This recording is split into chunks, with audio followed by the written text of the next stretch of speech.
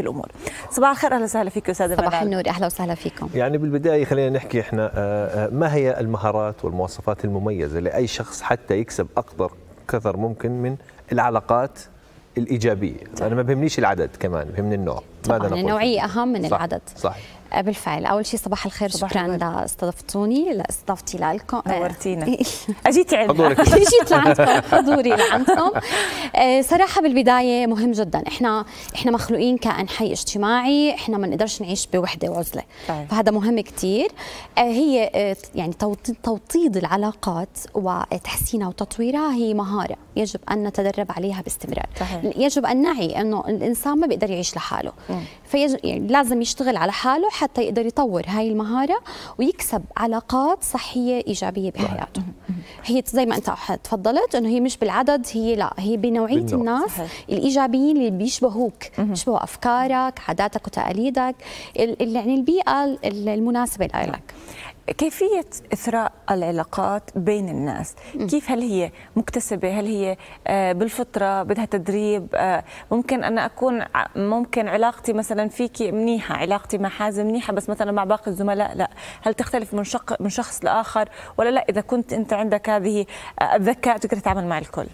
أكيد اللي عنده بيمتلك الذكاء العاطفي والاجتماعي. أكيد عنده القدرة على التعامل والتواصل مع الناس بطريقة أسلس من غيره. أوكي. هل الإنسان ما عنده هاي القدرة وما عنده هاي المهارة وعنده وعي أنه يجب أن يحسن العلاقة مع الآخرين أكيد يشتغل على حاله بده يتدرب بده يشوف كيف بيقدر يتصرف مع هذا الشخص حتى يقدر يوصل له عشان نصير نحكي لغة مشتركة.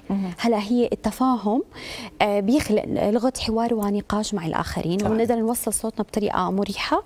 ونجذب أشخاص يعني إيجابيين بحياتنا. نعم. ممتاز. هل في مثلا احتياجات معينة أو حاجات معينة أكيد. في مواصفات معينة؟ يعني بنسمع دائما إنه الشخص اللي يمتلك الحاجيات العشرة خلينا نحكي للعلاقه المميزة. نشرح عنها أكثر نوضحها حتى يعني هل ممكن الواحد يكتسبها أم هي موجودة فيه أم يتدرب عليها ويتعلمها خلينا نحكي. أكيد هي موجودة طبعا أه. بس لازم إنه يتدرب عليها حتى يقدر يتعامل معها بطريقة صحيحة. هلأ كل شخص عنده احتياجات. هلأ مثل ما عندنا احتياجات احتياجات جسدية وروحانية في عندنا أكيد احتياجات علاقاتية إحنا بنسميها وهي عشر حاجات يعني مهمة كثير بالعلاقات أهمها أو بدنا نحكيها العشرة حتى نقدر نعرف شو هي الشغلات اللي بنقدر فيها نطور علاقاتنا مع الآخرين. التقبل. نتقبل الطرف الآخر بكل عيوبه وأخطائه. نتقبل الطرف الآخر صحيح. بكل معنى الكلمة بشكل حيادي بالإضافة للموده قد في عنا تعبير عن المشاعر وكلمات حلوة بنطلعها للشخص الآخر حتى نبقى إحنا بمكان صح بحياة الآخرين. بالإضافة للتقدير في عنا قلنا تقبل مودة تقدير الرضا والإستحسان كمان مهم كثير هذه هي بتأكد على أهمية العلاقة بين الطرفين. بالإضافة للتشجيع كمان في أشخاص بحبوا ما هذه حاجة التشجيع حتى يقدروا يستمروا ويثابروا على الشيء اللي هم بيطمحوا له. فإحنا بنحتاج ناخذها من من شخص آخر. أوكي. بالإضافة للاحترام. هذا هو بيخلق قنوات تواصل واتصال مفتوحة مع الآخرين بتوطد العلاقات. في هناك معيقات بالحياة. بتعيق إثراء علاقاتنا مع الآخرين. إيش هاي المعيقات؟ وكيف نقدر نتخلص منها؟ أكيد هلا في عنا أهم ثلاث معيقات بتخلينا إحنا ما بنقدر نتواصل مع الآخرين بشكل سليم وبالتالي ما حيبقى عنا علاقات صحية مم. معهم أهم حاجة الأنانية مم. الأنانية هي اللي بتخلق إنه دائما إحنا بنفضل احتياجاتنا على احتياجات الآخرين صحيح فهذا الشيء بيخلق نوع من الحاجز كنا عم نبني حاجز بيننا وبين الآخرين حلو. وهذا الشيء آه يعتبر معيق في تطوير العلاقات الصحية مع مم. الآخر ممتاز طب يعني اليوم إحنا يمكن هل هذه طبيعة إنه مثلا الشخص بيعرف يعمل أصدقاء. بيتم تدريب الناس يعني مثلا أنا ابني وهو صغير بعمر صغير بحب إنه يعمل علاقات حلوة حتى هو بحسه إنه مثلا أنا عندي خمس أصحاب عندي عشر أصحاب لما بتعرف على واحد بيجي مبسوط. هل ممكن نغرسها في الأطفال حتى لما طبعا. يكبروا يعرف كيف يختار صاحبه؟ مش مهم اعيد واكرر يكون عندي 100 صاحب ما مش مستفيد منهم لا. خمسة ممكن هي مش بالعدد لأنه مرات العدد بيبقى هي شيء سلبي على الآخر. نزرع ونغرس في الأطفال كيفية اختيار العلاقات الإيجابية. أنا حكيت بالبدايه إنه العلاقات هي تطوير العلاقات هي مهارة. إحنا بنتدرب عليها لما نكون في عنا وعي. بدنا نحسن علاقتنا مع الآخر بدنا نعرف شو هي الطريقة لنوصل لهذا الآخر حتى يبقى في عنا قنوات تواصل واتصال مفهومة بين الطرفين. فبدي بس بدي أركز شغلة واحدة الحاجات العلاقاتية قلنا لهم العشرة هم من آه، هي بنسب مختلفة بتختلف من شخص لآخر. تمام. إذا أنا عندي حاجة مثلا الاحترام بنسبتها أعلى بشخصيتي مش بالضرورة لازم أضلني أعطي احترام للطرف الآخر ممكن. في عنده حاجة أهم حتى يقدر يفهمني وأوصل صوتي له وأزيد أطور هالعلاقة الصحية الإيجابية بيني وبينه. نعم.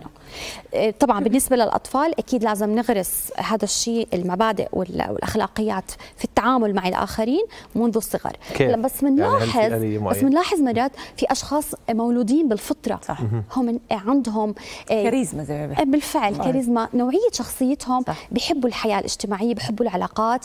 آه ما عندهمش خجل ما عندهمش آه يعني آه هيك نفور ورفض من الآخرين.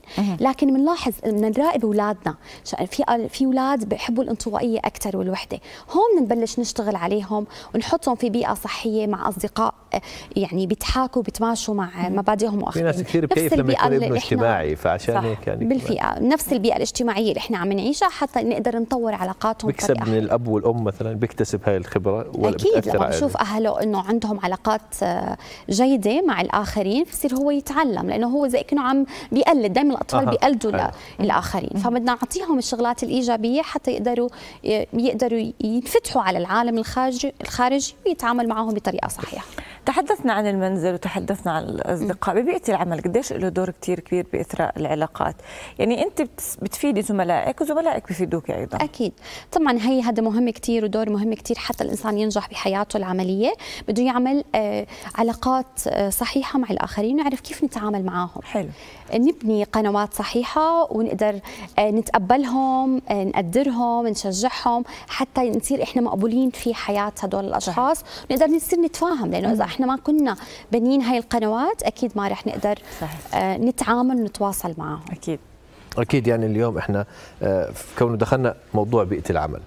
آه البيئة أو مثلا خلينا نحكي إذا كان عمل العلاقة بتكون غير عما تكون حياة اجتماعية كقرابه ولا غير لأنه ممكن هناك يكون في تنافس ممكن يكون في مصلحة معينة لكن لما يكون في صداقة خارجية ما لهاش مش في بيئة العمل صح. أو في بيئة عائلية معينة آه، تكون لها تأثيراتها أو إيجابية أكثر كيف نتعامل في هذه الظروف هلا أنا برأيي مع الذكاء العاطفي والاجتماجتماعي لازم يكون في عندنا مهارة اسمها فن المسافات أنا حلو. حكيت عليها من, من السابق هي لها دخل كثير كبير في تطوير العلاقات مع الآخرين ونميز حسب مين الناس إحنا عم نتعامل معاهم. في أش... في علاقات لازم تبقى ضلها رسمية بطريقة رسمية معينة.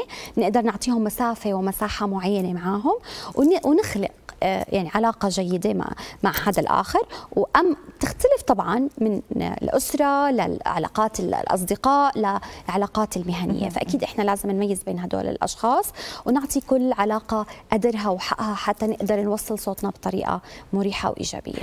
في النهاية إيش بتحبي تنصحي المتابعين والمشاهدين بموضوع إثراء العلاقات؟ أوكي. أهم حاجة بالعلاقات إنه إحنا دائما نسعى آه، يعني ما دام صار عندنا الوعي إنه إحنا بدنا نحسن العلاقة مع الطرف الآخر نقدر نفهم إيش حاجاته الأساسية. إيش الشغلات اللي بنقدر من خلالها نوصل لهذا الشخص حتى نقدر نتواصل بطريقة مريحة.